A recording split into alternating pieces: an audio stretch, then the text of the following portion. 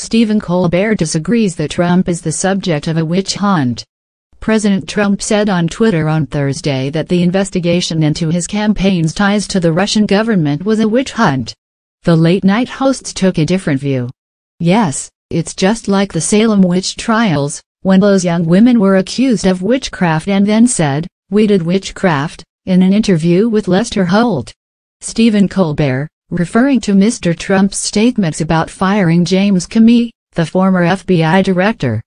President Trump is under investigation for obstruction of justice. That was confirmed today, when President Trump said he is not under investigation for obstruction of justice. Conan O'Brien.